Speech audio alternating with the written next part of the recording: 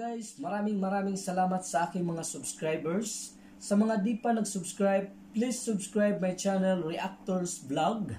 At please click the notification bell para ma-update at ma-notify kayo sa aking mga bagong upload na mga video. Meron tayong guys Honor 9X. Ang Honor 9X po ay isang mobile phone ng Huawei. Ito po ay brand ng Huawei, ang Honor 9X. Ang Honor 9X po ay inilunsad sa Pilipinas noong November 28, 2019. Bagong-bago lang talaga to guys inilabas ng Huawei Company ang Honor 9X. Ang Honor 9X po ay meron dalawang klaseng kulay, ang Sapphire Blue at at isang Midnight Black. Ang Honor 9X ay meron specification na 6GB RAM at meron din siyang 128GB storage at meron din siyang 4,000 mAh battery at meron din siyang 48 megapixel triple camera setup. Napakasulit at napakasulit na talaga to guys na mobile phone. Ayan na inilabas ng Huawei company. Kung anong meron dito sa Honor 9X. Ayan guys, bubuksan ko na.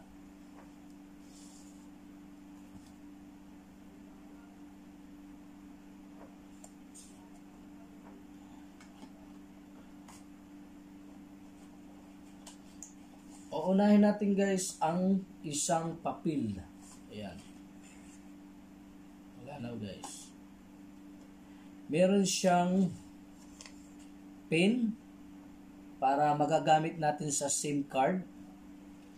At saka meron siyang documentation. Dito natin guys babasahin ang kung ano ang gusto natin malalaman. Dito meron English, meron din Chinese ang ating uh, documentation. At isang merong free na jelly case. Meron jelly case na free, napakalambot. Yun lang po guys ang laman nitong box na ito. At matitingnan natin guys. At meron siyang charger na ang charger niya po ay 240 volts.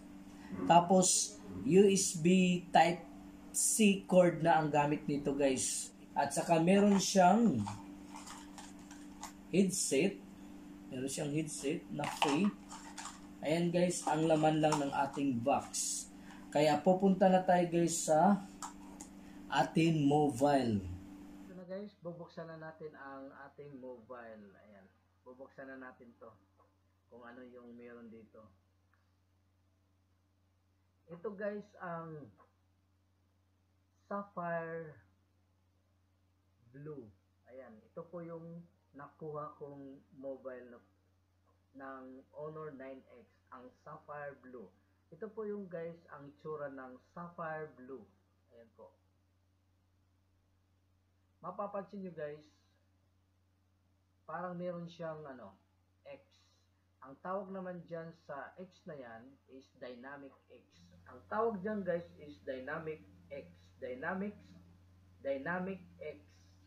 Ayan guys, mapapansin nyo guys. Ayan, mapapansin nyo. Parang meron siyang X. Siya, ang likod nito guys, ang likod nito is glass. Kaya maganda talaga guys. Tapos, ang ano nito, curve. Ang curve nito, ang bawat ends, curve at saka meron siyang tatlong camera. Meron siyang 48 mega, megapixel at meron din 8 megapixel sa gitna at saka 2 megapixels sa pinakababa. At saka itong ano guys, sa baba ng camera, meron siyang LED flash. Tapos hindi nawawala guys ang finger scanner. Nandito yung finger scanner niya. At ang hindi rin niya nawawala dito ang honor. Yan guys. Ang kanyang logo. Ayan. Ayan. Honor. Yan po. So honor. Tapos napaka ano guys. Napakaganda talaga guys ng mobile na to. Tapos medyo may kabigatan kaysa dating Huawei.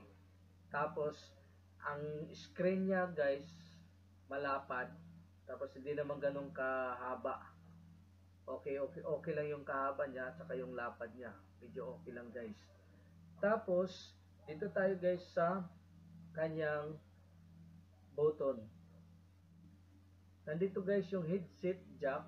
Tapos nandito sa gitna yung uh, cord na C-type cord o USB C-type cord. At saka nandito yung speakers.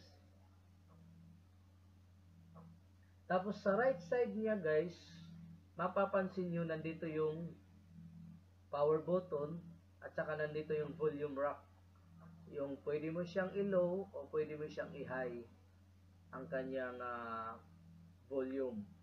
Tapos sa kabila guys, sa iyang left side, sa kanyang left side, wala wala siyang design. Tapos sa kanyang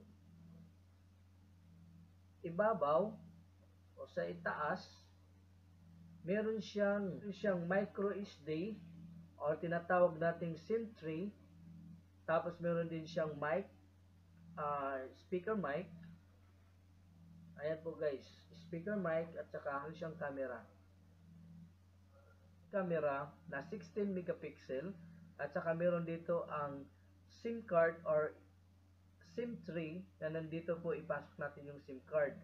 Tapos nandito rin po ang kanyang mic speaker. Nandito po yung sa tabi ng SIM card. Yun lang po guys ang meron dito. Tapos napakasulit na talaga guys ang kanyang display, ang size ng kanyang display ay nasa 6.59 inches. Camera niya guys ay ito po. Yan po. Yan po ang 16 megapixel na pop-up front camera. Ayan guys, yan ang itsura niya. I-try natin guys ang uh, camera itong magandang view ayan yun na po ang camera na ginagamit natin malinaw na malinaw yung camera guys. Solid na solid po. Guys atin rin na subukan ang video kung maganda ba. Napapansin nyo guys ang video ko ay naglalakad ako yan. Tapos hindi siya masyado maalog. Hindi tulad ng ibang cellphone uh, mapapansin mo talaga umaalog siya. Meron na siyang stabilizer guys. Ito ang magandang phone para sa mga vloggers at sa mga gamers po. Kasi ang mga gamers po ay kailangan ng widescreen. Kaya guys, ang Honor 9X para sa akin ay napakasulit na sulit na po na mobile phone. Dahil mura lang at may quality pa.